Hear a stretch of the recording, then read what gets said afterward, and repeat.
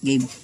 Okay po. Ini po, itong tubig na to na nakikita nyo dito it is tubig ito galing sa puso namin.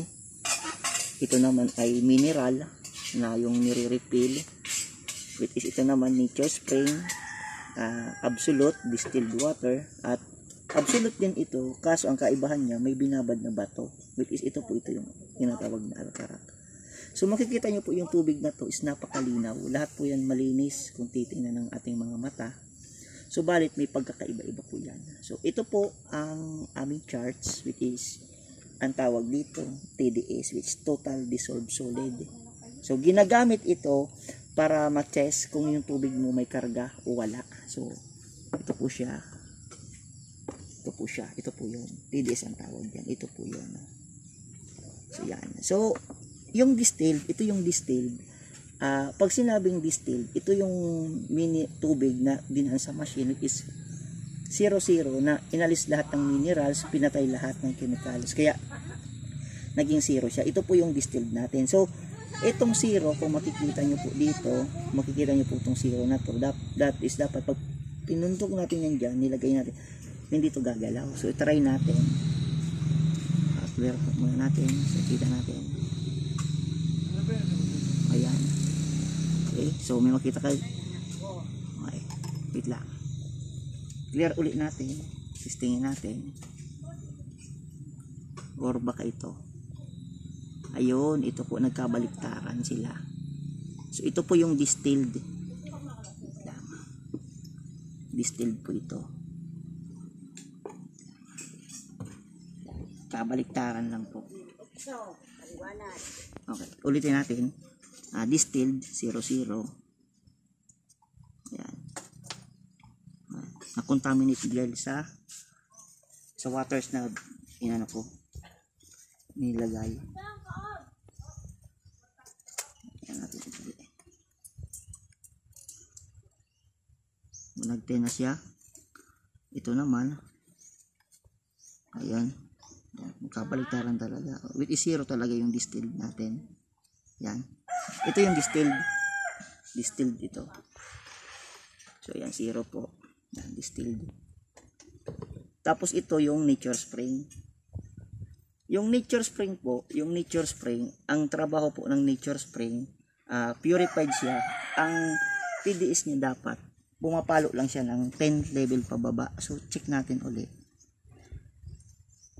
Uh, so pasok po siya. Okay? So yan po yung minerals ng ano, yan, purified. Tapos, yung purified naman po, ito yung iniinom na nire-refill namin yan sa, sa, sa labas. So, check din ulit natin. So, meron siyang 28. Kasi ang sabi po dito, sa TDS, 0 to 50, maganda pa siya yung tubig. Pag umabot ng 52, magiging hard water na po yan. Yan po yun. Tapos, ito naman yung sa aming ano, sa puso. So, tingnan natin. So, nagwa-warning po siya. So, marami siyang kargang mga contaminate po yan.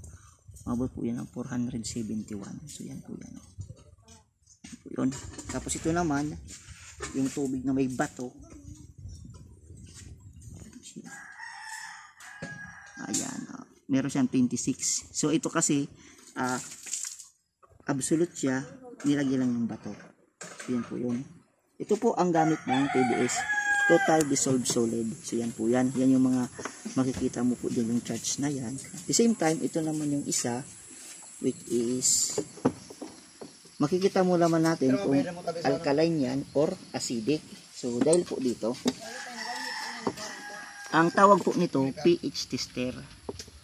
So yan gagamitin natin ito. ito. So ito, susubukan natin. Isa lang naman yung ating ipapatak. So titingnan natin. Base po dun sa chart.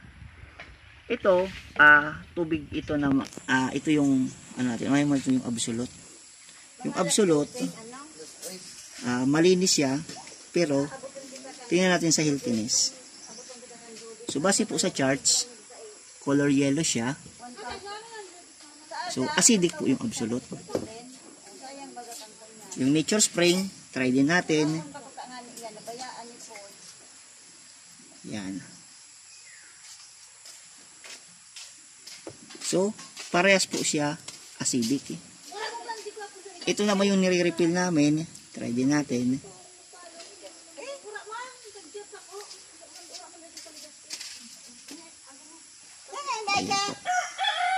So, lahat po yan acidic.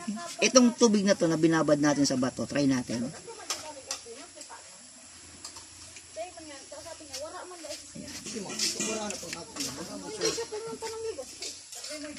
Makikita niyo po. Malalaman mo po ito kung alkaline siya dahil sa batong ito. Ito po yun. So, ito yung absolute natin. Ah, taray natin lagyan ng rocks. Ah, tinultog ko lang po ito ng martilyo kaya nagkaganito kakalit-liit. Tapos, pero ganyan yung mga kalalaki niya. Ito po yung pack niya.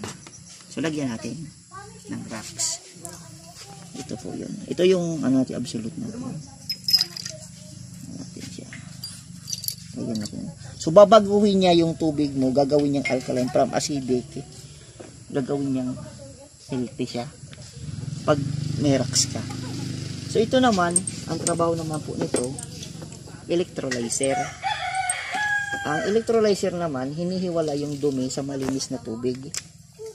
So, kailangan natin i-electrolyze para makita natin yung kung gaano kalinis o karumi yung ating tubig. So, ito, gagamitin natin ito. Kasi contaminate ito. Kasi kanina, umabot ito ng 400 plus. So, titingnan natin. Okay. So, sasaksak ko po yan dito.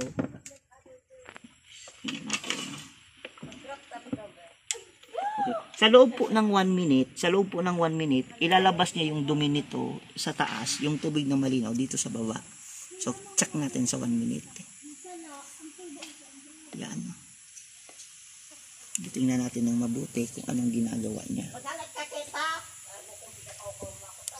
Ayan. Tingnan natin ito. So, makikita nyo po, kapag ininit mo yung tubig, hindi naman ganyan.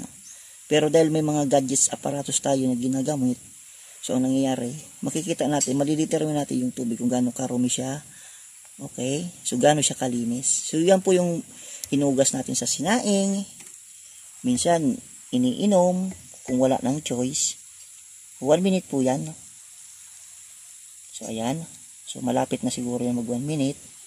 So, makita niyo po kung gaano siya karumi. Kasi contaminated po siya. Ayan. So, tama na po. So, makita niyo po yung gaano kadumi yung tubig natin. So, yan po yun.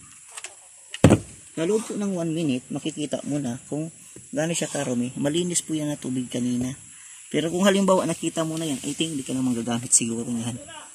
Pero kung may aparatos ka, mabilis mo to makita. So ito makita mo kanina, ito yung absolute natin. Acidic siya kanina. Pero habang nilagyan ng bato, binabad natin, nagiging alkaline na po siya. So safe na po siya inumin. Ito na po yun. So yan po yung ano natin, yan po yung gift of nature o tinatawag nating alkarat. So yan po ang sistema.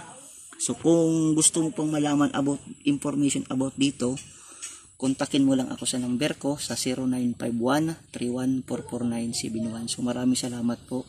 God bless po.